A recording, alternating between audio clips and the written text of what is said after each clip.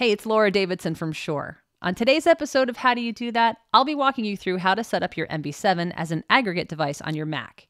This allows you to take advantage of both outputs of the MV7, the USB and the XLR, allowing you to have two independent tracks, one that has that DSP processing and one that is the raw audio. This is handy in post if you want to be, let's say, recording a live stream and then take that audio after the fact and add your own effects while your live stream hears that nice DSP processed USB signal. So I'm going to walk you through it. Let's jump right in. The first thing you want to do is open up your audio MIDI devices on your Mac and click down here on the plus sign to create an aggregate device. This will open up all of the options available to you. I'm going to select my Shure MV7 and my Apollo Twin. So then I'm going to go ahead and open up GarageBand. And then I'm also going to go over here, make sure that my audio preferences are set to be my aggregate device.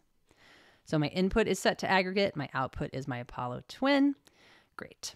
I'm going to go over here, click choose. And now my audio, I'm going to select input one. Now you'll remember from when we set it up in the audio MIDI audio MIDI devices, I can never say that, that that was input one. That was going to be my MV7.